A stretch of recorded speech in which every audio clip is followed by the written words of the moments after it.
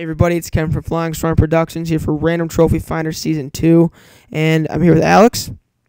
What's up? And we're doing a trophy in Dead Space 2 called Taste Your Own Medicine, where you have to impale a live slasher to a surface using a slasher's arm, and it must be stuck to a surface. So in Chapter 1, you're going to come across this guy floating on like a table. You're going to dismantle the table, and you're going to get a piece from it, which lets you shoot uh, crap at people, like pick it up and throw it. So the first thing you're gonna do is get the part from the table and throw it at the piece of glass. It kind of acts like a spear, and it'll break.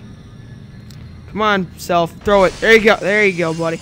And then take up another one. Hit this guy. He's impaled. Take his arm for the trophy. Here we go.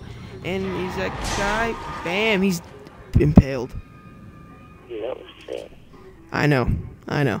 So for any more trophies, head over to randomtrophyfinder.webs.com, Flying Smart Productions.webs.com, or just simply subscribe. And I'm sorry that the trophy didn't pop, guys, but I recorded it and it didn't like save. It was being stupid when I got it. So I'm Kevin with Alex, and I'll see you guys later.